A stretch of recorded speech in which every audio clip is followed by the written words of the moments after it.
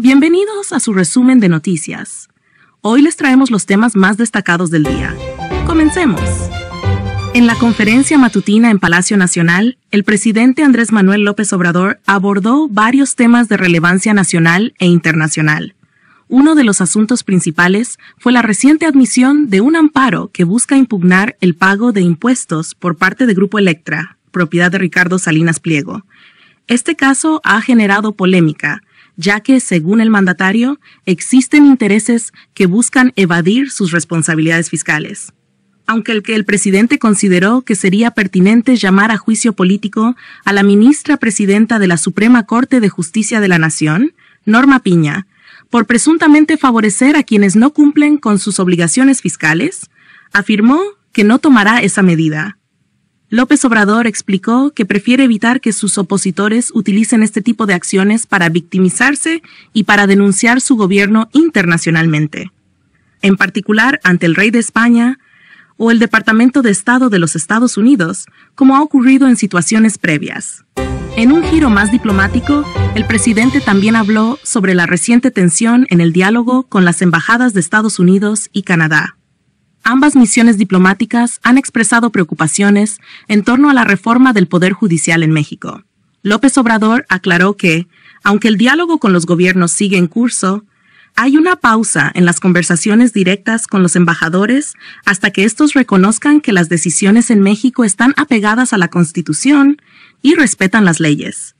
Para el presidente, lo primordial es que se respete la soberanía del país enfatizando que México tiene derecho a tomar decisiones internas sin injerencias extranjeras. Este mensaje también fue dirigido a la comunidad internacional, buscando que se respalde el principio de autodeterminación y el respeto al mandato democrático que encabeza. En un contexto de transición política, López Obrador expresó su confianza en la presidenta electa, Claudia Sheinbaum, a quien ve como una figura que continuará defendiendo la soberanía nacional, subrayó la importancia de que todo gobernante priorice la independencia de México en sus decisiones, reforzando así la postura del país frente a presiones internacionales. En materia económica, el presidente se mostró optimista al destacar los avances en la reducción de la deuda nacional, lo que considera un logro significativo en su administración.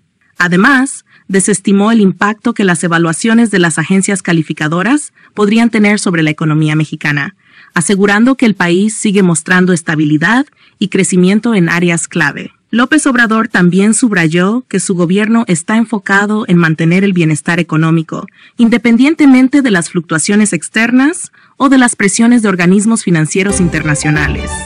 En otro tema relevante, el presidente anunció que este día se reunirá con los familiares de los 43 normalistas de Ayotzinapa desaparecidos reafirmando su compromiso con la búsqueda de justicia en este emblemático caso de derechos humanos. La reunión tiene como objetivo revisar los avances en la investigación y continuar brindando apoyo a las familias en su incansable lucha por la verdad. Por la tarde, López Obrador también sostendrá una reunión con la presidenta electa Claudia Sheinbaum en Palacio Nacional, enfocada en temas presupuestarios.